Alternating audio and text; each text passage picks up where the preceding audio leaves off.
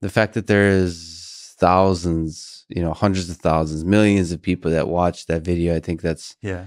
that's really powerful. So, uh, how do you think the idea of putting lectures online, what, what really MIT Open Courseware has innovated? That was a wonderful idea. You know, I think uh, uh, the story that I've heard is the committee uh, committee was appointed by the president, President Vest at that time, a wonderful guy, and uh, the idea of the committee was to figure out how MIT could make uh, be like other universities, market the market the work we were doing.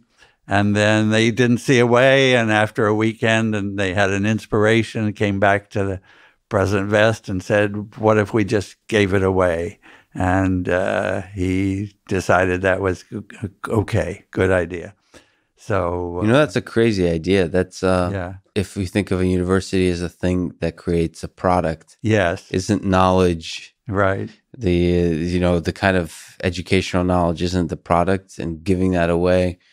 yeah. Are you surprised that, that, that it uh, went through? The result that it, that he did it. Well, knowing a little bit President Vest, it was like him, I think, and uh, and it was really the right idea. You know, uh, um, MIT is a kind of it's known for being high level technical things, and and this is the best way we can say tell we can show what MIT really is like because the, the the in my case those 1806 videos are just teaching the class.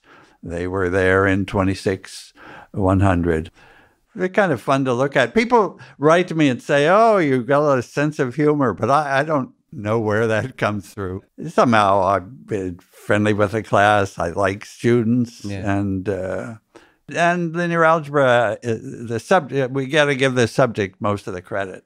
It it it really has come forward in importance uh, in in these years.